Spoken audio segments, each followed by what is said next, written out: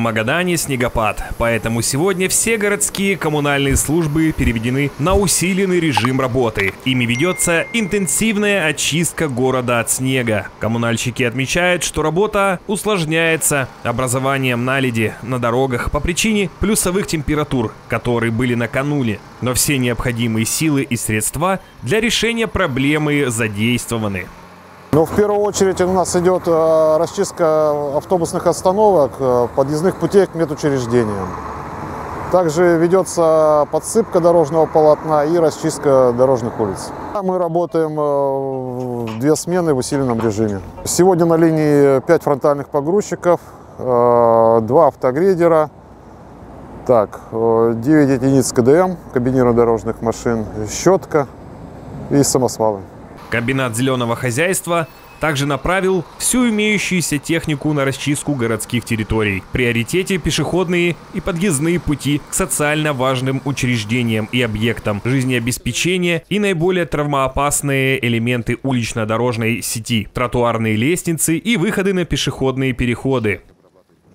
А, сотрудники учреждения, задействованные на снегоуборке, переведены на усиленный режим работы. Задействованы все а, рабочие единицы техники, которые могут очищать снег на расчистку городских территорий. В первоочередную очередь очищаются подъезды к социально важным объектам, к объектам жизнеобеспечения и наиболее травмоопасные элементы улично-дорожной сети – это а, тротуарные лестницы, выходы на пешеходные переходы. По окончанию первичной снегоочистки будет производиться дозачистка и вывоз а, сформированного снега. В местах недоступных механизированной обработки задействованы специалисты ручного труда. Сегодня на решение этих задач направлено порядка 50 рабочих КЗХ. Во дворах ведется активная работа по очистке сотрудниками управляющих компаний и ТСЖ. Кроме того, управляющие компании ведут уборку во дворах. В первую очередь работники занимаются расчисткой крылец.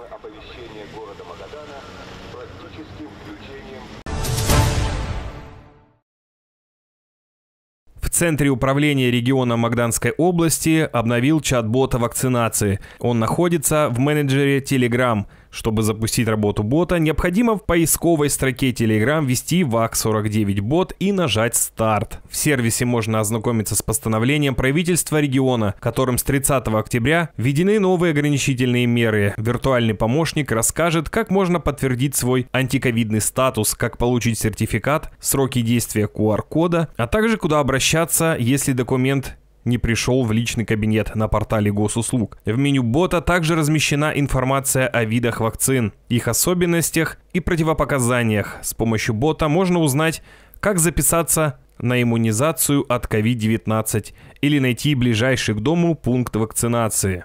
Он разработан совместно с региональным Минздравом. И как утверждают разработчики, данный чат-бот о вакцинации – это источник проверенной информации, которому можно доверять. На прошлой неделе в Магадане завершился городской турнир по мини-футболу «Кожаный мяч». В нем приняло участие 43 команды, 5 из которых представляли городские округа Магаданской области. На протяжении 27 игровых дней было проведено более 200 встреч, в котором приняло 398 юных спортсменов. Поздравить победителей и вручить им награды пришли заместитель мэра города Юрий Казетов, заместитель директора магаданского филиала компании «Полиметалл» Руслан Юсупов и руководитель Горспорттуркомитета Антон Чуйченко. Сегодня в этом зале проходит награждение победителей 15-го уже городского детского турнира «Кожаный мяч». 15 это турнир, который проходит, проводится совместно с нашим социальным партнером компанией «Полиметалл».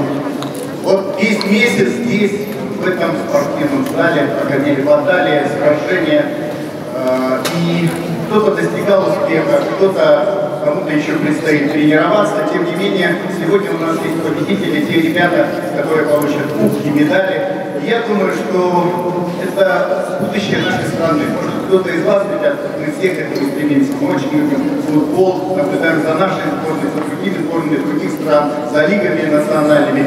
Я думаю, что все-таки появятся те звездочки, которых нам сегодня не хватает. Социальным партнером городского турнира все 15 лет является компания «Полиметалл». В своем приветственном слове заместитель директора по социальной политике и внешним коммуникациям магаданского филиала компании «Полиметалл» Руслан Юсупов поздравил участников с завершением состязаний и пожелал им новых спортивных побед и высот. Мы как социальный партнер этого э, спортивного, не боюсь сказать, серьезного мероприятия, там, юбилейного в этом году, да, традиционный партнер. Для нас э, важно то, что э, подобные истории объединяют детей именно в крепости духа и в дальнейшем воспитывают в них ту драйвовую историю, которую не хватает таким молодым ребятам, таким мальчишкам, порой, которые оторваны сейчас от э, улицы, занимаются спортом. Э, для нас самое главное, как для компании социального партнера, это то, что э, удалось все-таки пройти этот тяжелый путь каждому из них, и каждый из них все-таки построил для себя и получил от этого мероприятия, несомненно, какой-то урок. Победителем городского турнира по мини-футболу «Кожаный мяч» стали в младшей возрастной группе 11 лет и младше. Третье место заняла дворовая команда «Мечта». Второе место команда «Гимназия номер 30». И первое место заняла команда «Олимпия». В возрастной группе 12-13 лет Третье место заняла команда СОШ номер 18, второе место команда гимназии номер 24 и первое место взяла команда гимназии номер 30. В возрастной категории 14-15 лет. Третье место у команды школы номер 18, второе место в средней группе заняла команда гимназии номер 24 и первое место заняла команда гимназия номер 30. Возрастной старшей группе 16-17 лет. Третье место присуждено команде гимназии номер 30, второе место взяла гимназия номер 24 и первое место Ольская команда «Рыбак». Все призеры турнира награждены кубками и дипломами. Игрокам вручены грамоты и медали. От компании «Полиметалл» спортивная экипировка. Также социальный партнер турнира отметили денежными сертификатами самые активные учреждения, принявшие участие в турнире. Кроме того, Полиметалл учредил спецпризы в следующих номинациях. Лучший вратарь, лучший защитник, лучший нападающий, лучший игрок. Лучшие определены в каждой возрастной категории.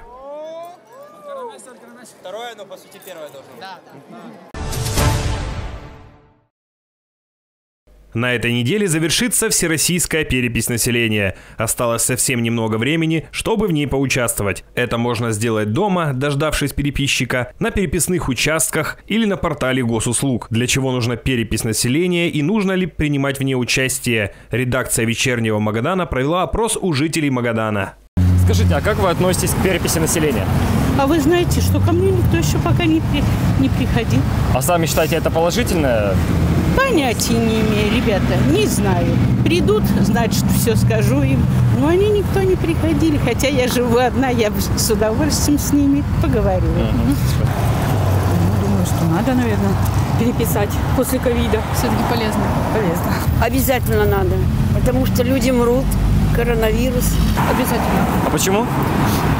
Чтобы знать все точные факты нашего населения, сколько нас проживает. Это очень вот это нужное дело и правильно. Скорее всего, это надо. Проходили. А надо. зачем? Ну, чтобы узнать, сколько человек живет в квартире.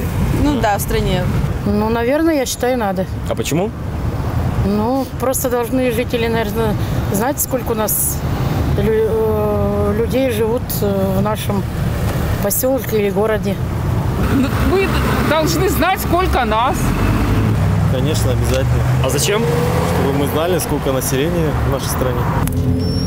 Да, не знаю. Просто нужна, да? Да. Ну, я считаю, что надо. Да. А зачем?